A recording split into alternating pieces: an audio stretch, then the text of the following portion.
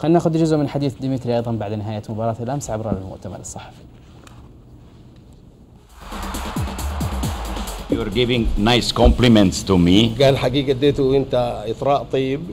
But before such important game, it's always danger, danger when you get too many compliments. You قال know, حقيقة لما الاطراء يكون أكثر من اللازم في مباراة هامة ممكن يجيب نتيجة عكسية يعني. We we won very important game against Nasser. that is fact.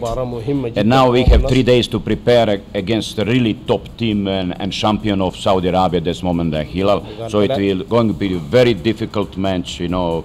You know, but we, we with this game we got a lot, of, you know, confidence, and uh, we talked to our supporters, their best supporters from Saudi Arabia.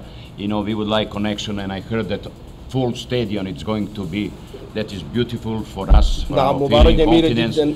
So it means we are working good, and I'm happy about that. But uh, game is something else, huh?